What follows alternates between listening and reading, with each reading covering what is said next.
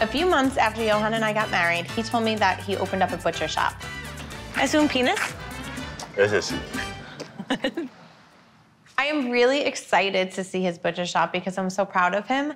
He can do anything he wants. He's six foot seven and has really big hands. He can cut up some meat. Sure, why not? And I am willing to help him in any way that I can as long as I don't have to deal with any of the meat. Wow.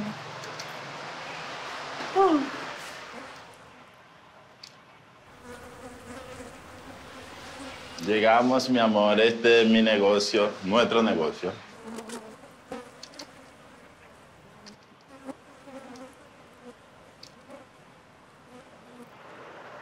Mi amor. Todo el carne afuera, Sí, ¿Por qué para que la gente vea la carne.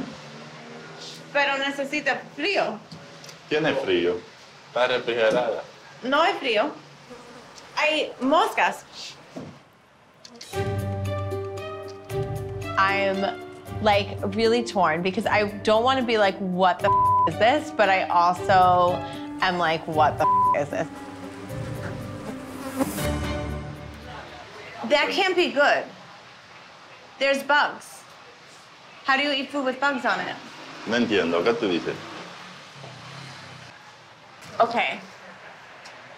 You need meat to be cold. I don't know how to say that in Spanish, but meat needs to be cold. La carne se sirve afuera para que la gente la vea. I, para I que la gente la vea. that it has bugs on it, I'm not going to buy it. No, no entiendo. Bugs, bugs, bugs. Mosca. Sí. Toda la carnicería la car- hay mosca por la carne. En mi país no hay, no hay. Estoy hablando aquí, no Sin tu aire. país. No, Oye, aquí, no estamos en tu país. Aquí, la carne se vende así. Su expresión como de asco. No esperaba eso.